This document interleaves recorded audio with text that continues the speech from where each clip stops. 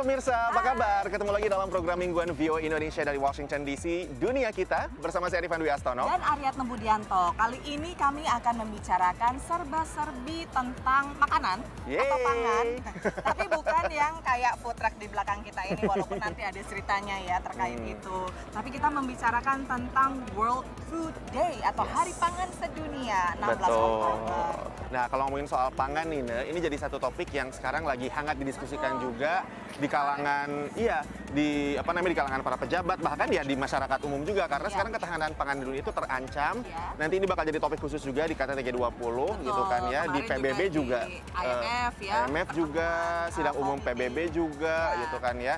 Karena memang sekarang dengan segala krisis yang terjadi, ada perang di Ukraina juga, Ada inflasi. ada krisis iklim. Wah, ini semua jadi semacam apa ya? a perfect uh, disaster Combination combination. disaster. Di Amerika ini sekarang harga pangan naik, Ne. berlipat ganda dan Ya. orang semakin susah untuk mendapatkan bahan makanan yang bergizi. Ya, Betul akhirnya sekali. mereka harus resort ke fast food lagi. Bener banget. Nah, ini salah satu penyebabnya adalah yaitu salah satunya kekeringan krisis iklim ya, ya. Kekeringan di California yang merupakan semacam apa ya? sumber utama penghasil pasokan pertanian, sayur dan juga buah segar di Amerika Serikat dan kenaikan harga ini juga terjadi terhadap produk turunannya, Ne. Betul. Saus lah, Iya, kalau misalnya kita um, langsung berpengaruh ke kita ya, Hmm. bukan hanya ke petani. Misalnya food truck yang di belakang kita ini, ini kan ramai sekali ya. Yes. Sekarang tuh harganya semakin mahal kan. Betul. Dan itu juga karena inflasi. Jadi bukannya karena food trucknya mau meninggikan harga, karena mereka juga untuk mendapatkan bahan makanannya udah mahal. Bener. Jadi mereka ongkos operasionalnya juga lebih mahal. Dan ini dialami oleh pengusaha restoran di kota New York. Dua pekan sebelum ia biasanya memanen tomat, pekebun ini akhirnya melakukan panen dini. 95% of these tomatoes are dark red, which means they're ripe and ready for harvest. And um, so they're going to have the most flavor and be fresher than your fresh market tomato in the store these days. Aaron adalah pekebun generasi ketiga yang telah tiga dekade menjadi pekebun tomat di California. Masalah regulasi di California, menurutnya telah lama membebani pekebun setempat. Tapi belakangan faktor cuaca yang paling mencemaskan. The drought is definitely number one on our list these days. Uh, water is our number one resource. Um, in California, you know, we're basically a desert out here in the Central Valley. We get six to eight inches of rainfall a year on average, and um, we haven't seen that in, since 2017, 2018. So we can't grow any of these crops you see behind us uh, without water. You know, a tomato crop will take about 24 to 28 inches of water to grow the way we're doing it. And uh, if we don't have that water, uh, we just won't grow it. That's why you see we have so many fallow acres because we just can't take the risk of planting a crop and then not having the water to, to reach maturity. Selain curah hujan yang tak memadai, minimnya hujan salju di pegunungan juga semakin membuat air langka. The California tomato crop is probably 10 to 15 percent off of what it normally would be, uh, primarily due to the heat and the conditions that we've had this year. Uh, right now, we're in a field that we're harvesting probably two weeks early because um, the heat has just brought it on sooner, and these tomatoes are starting to go bad where they're, they're not going to be usable if we don't get them off pretty soon. Tak hanya tomat segar, berbagai produk turunan juga terdampak, termasuk yang diproses di Ingomar menjadi tomat kaleng, saus tomat, dan semacamnya. It's tough. It's not fun. Um, you know, being primarily in sales, I enjoy helping customers out, getting them the product they need, you know, selling tomato paste. But now there's essentially nothing to sell, and as um, the crop gets shorter and shorter, there becomes times when you have to have conversations with customers about not being able to pack uh, their entire volume.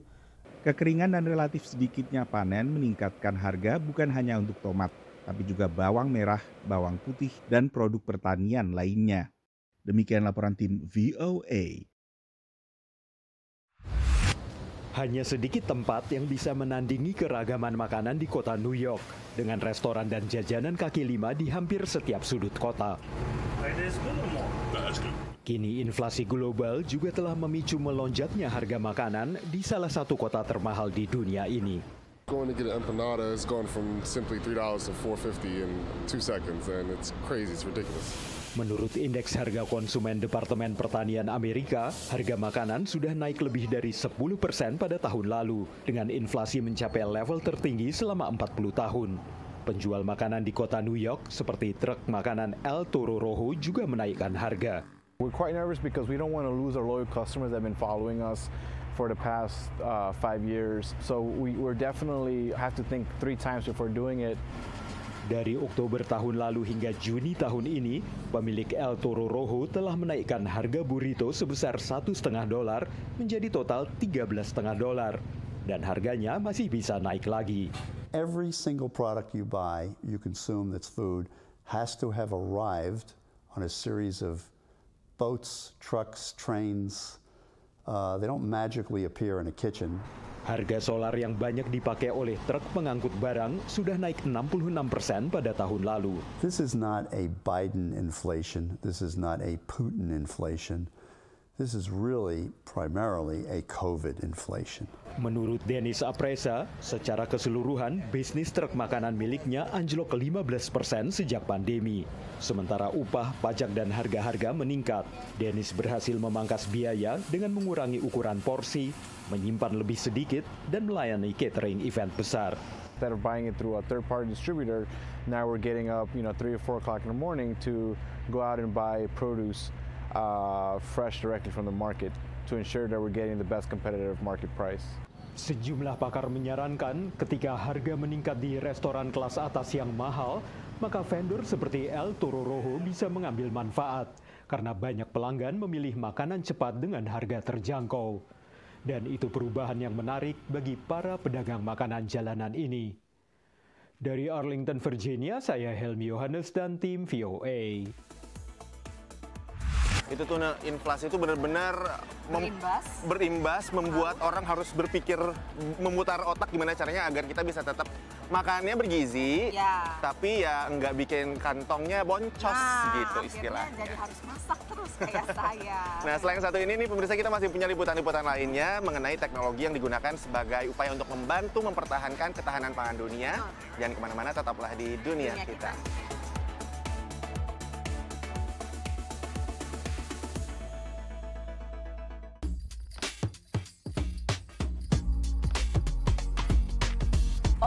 Anda masih menyaksikan dunia kita. Rifan dan saya masih membawakan berbagai liputan tentang Hari Pangan Sedunia, Hmm. 16 Oktober. Yes. Nah, kita sekarang bicara soal ketahanan pangan, Rifan. Yap. Tentunya juga kita bicara soal apa saja upaya atau Mhm. kiat untuk bisa membuat produksi pangan itu lebih efektif. Benar, banyak banget kan teknologi-teknologi yang ditemukan untuk bisa membantu hal itu diwujudkan, termasuk juga untuk teknologi drone nih. Nah, pesawat nirawak Nirawak. yang pakai remote control itu loh pemirsa. Ya. Nah itu ternyata kan sekarang harganya makin terjangkau. Lebih affordable, Ada yang ya. kayak cuman berapa ratus ribu bahkan ada juga yang sampai sejutaan juga ada. Mhm. Itu mungkin mungkin nggak cuma, tapi itu adalah investasi yang Cukup baik, bagus ya. gitu kan ya. Dan ini juga dimanfaatkan oleh industri pertanian kecil nih. Betul. Di mana mereka ini menggunakan drone untuk mungkin melakukan pemantauan juga Ya. atau mungkin untuk pemupukan segala rupa deh yang Jadi, itu pastinya dan juga biaya. Oh, dalam hal ketahanan pangan ini tentunya kita juga bicara soal sampah makanan. Nah. Nah, Amerika Serikat itu adalah salah satu negara yang menghasilkan sampah makanan begitu besar. Yes. Padahal sampah makanan ini kan ya kalau misalnya sampah menghasilkan gas metana ya. Benar. merupakan gas rumah kaca dan itu tidak baik untuk lingkungan. Ada sebuah perusahaan ya berbasis di Belanda yang menciptakan teknologi dengan bantuan AI, Artificial Hmm, Intelligence, kecerdasan buatan. Iya, untuk bisa mengukur jumlah sampah yang dibuang oleh restoran-restoran sehingga restoran bisa menguranginya. Diantisipasi ya. Betul.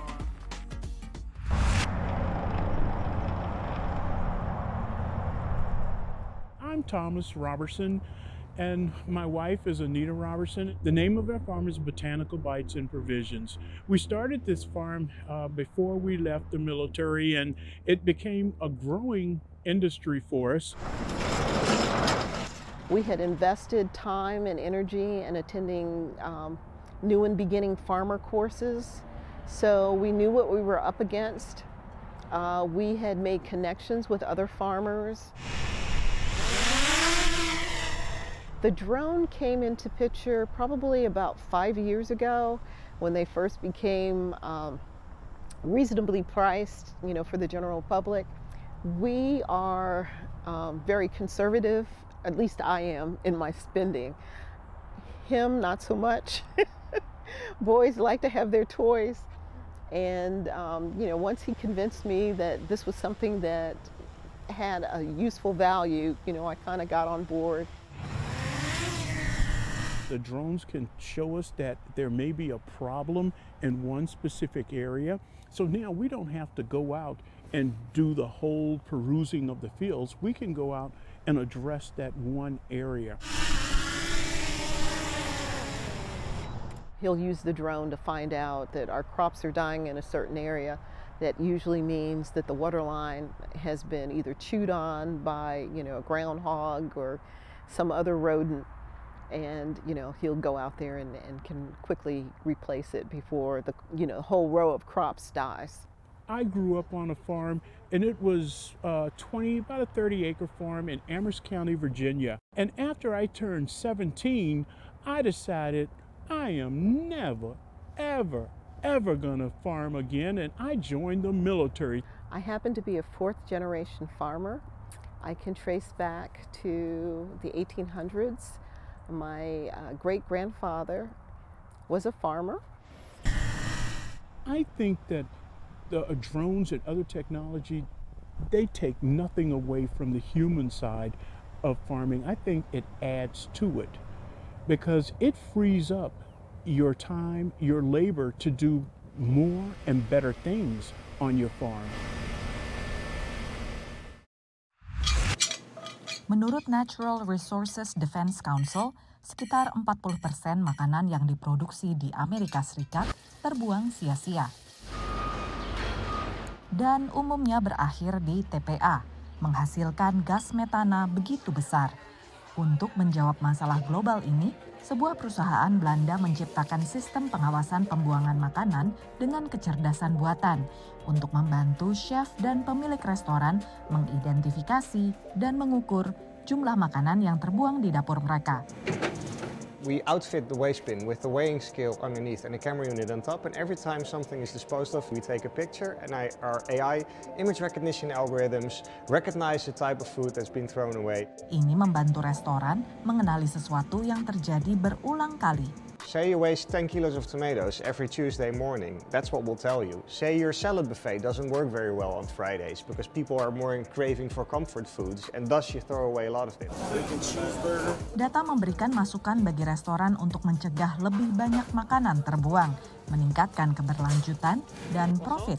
There's not a chef in the world that likes to cook for the waste bin. So what their technology is able to do from a restaurateur's point of view is really allow them through artificial intelligence to predict and to make the right amount of food. Restoran tidak membeli mesinnya, melainkan berlangganan bulanan.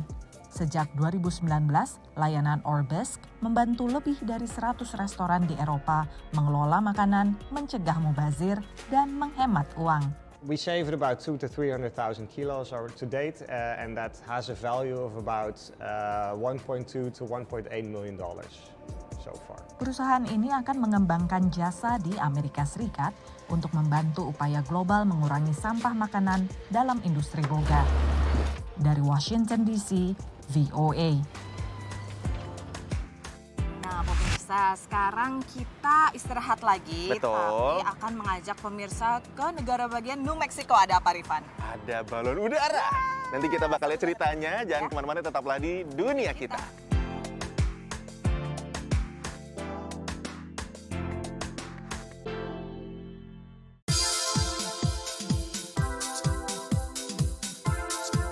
Pemirsa tadi kita sudah ngomongin soal ketahanan pangan dunia, hari pangan sedunia, topiknya lumayan berat ya. Nah, tapi sekarang kita relax dulu nih.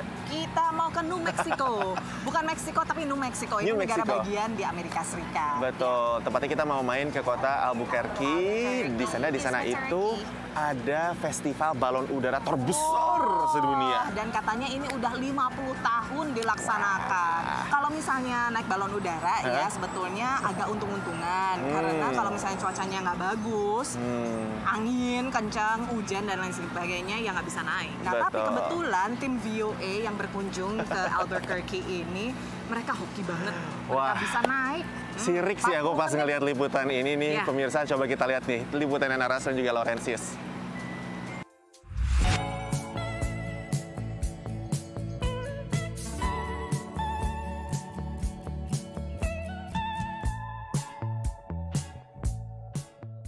Sekarang kita lagi ada di udara sekitar 1.300 kaki. Nah, sek- kita lagi naik balon udara sebagai bagian dari Balloon Fiesta di Albuquerque, New Mexico.